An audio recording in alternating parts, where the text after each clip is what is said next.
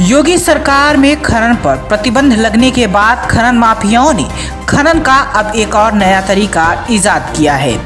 खनन माफियाओं ने पाइपों के ज़रिए ज़मीन के अंदर से खनन करना शुरू कर दिया, जिसकी किसी को भनक तक नहीं लगी और कुछ ही महीनों में खनन वाली लगभग जगह 60 से 70 फीट गहरा तालाब बना डाला। क्या है पूरा मामला? आइए जानते हैं सोनू अंसारी की इस खास रिपोर्ट में। देखने में आपको सामान्य तालाब जैसा लग रहा होगा, लेकिन जब हम आपको इसके बारे में बताएँगे तो आप दांतों तले उंगली दबाने पर मजबूर हो जाएँगे।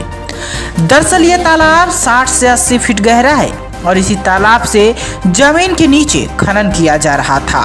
ये पूरा खनन वैक्यूम की मदद से किया जा रहा था, जिसमें पहले एक तालाब बनाया गया, फिर उसमें दो पाइप ज़मीन के नीचे डाले।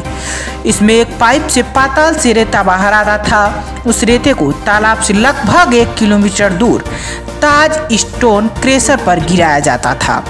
साथ ही दूसरे पाइप से रेते के साथ आए पानी को दोबारा से पाताल यानी उसी तालाब में छोड़ दिया जाता था। मतलब ये कि खनन माफिया ज़मीन को अंदर ही अंदर खोखला कर रहे थे और किसी को भनक तक नहीं लगी। इस गड़बड़ झाले के लिए ताज स्टोन क्रेशर और अन्य माफियाओं ने एक खेत किराए पर लिया, जिसका वो पचहत्तर हज़ार रुपये प्रतिमाह के हिसाब से किराया देते थे। उस खेत के चारों तरफ़ गन्ने के खेत थे, ताकि किसी को इस खनन का पता न चले। खनन का काम यहाँ दिन रात किया जा रहा है। रोज़ाना 40 से 50 ट्राली बालू को यहाँ से सप्लाई किया जाता था। ऐसे में आप अंदाज़ा लगा सकते हैं कि इन खनन माफियाओं ने ज़मीन को कितना खोखला कर दिया है। पुलिस को जब इसकी भनक लगी तो यहाँ खनन अधिकारियों के साथ छापा मारा। जब छापा मारा गया तो पाइप से बालू निकल रही थी। दूसरे पाइप से पानी वापस भेजा जा रहा था और ट्रालियों में डंपर से बालू सप्लाई किया जा रहा था।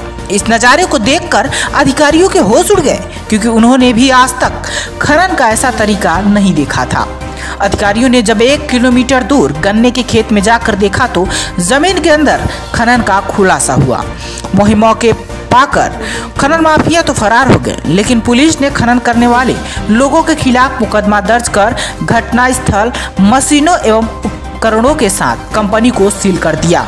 साथ ही वहाँ पीएससी तैनात कर दी गई है ताकि कोई अप्रिय घटना न हो सके। देश में खनन माफिया किस प्रकार सक्रिय है, इसकी एक बानगी बरेली में देखने को मिली। योगी सरकार में भी खनन माफिया नए नए तरीके से खनन को अंजाम दे रहे हैं। ये हमारे बहेड़ी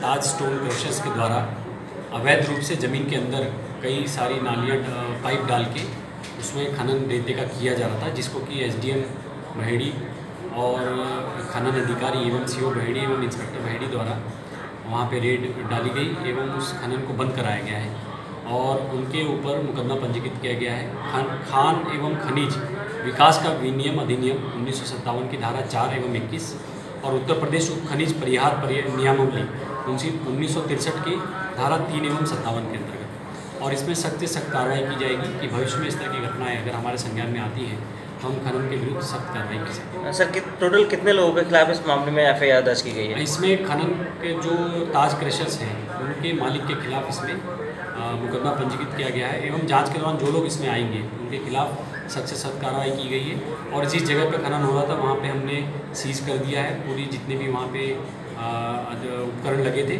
और वहाँ पर पीएसी हमने लगा दी